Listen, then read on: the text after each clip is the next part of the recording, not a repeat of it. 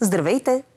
Утре ще имаме много слънчеви часове. От запад облаците ще започнат да се увеличават. В края на утрешния ден в западните райони ще има и места с дъжд. Ще духа предимно слаб вятър от юго-исток. Утре ще остане с високи температури. През деня ще бъдат между 27 и 32 градуса. По морето ще преобладава слънчево време. Там ще духа слаб вятър от юго-исток. Морското вълнение ще отслабне.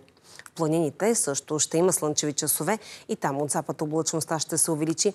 В края на деня в масивите на западна България ще започнат валежи от дъжд.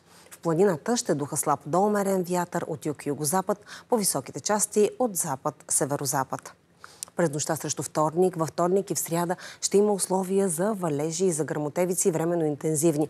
Най-напред ще завали в западна България, но постепенно промяната на времето ще обхване и останалата част от страната. Температурите ще се понижат.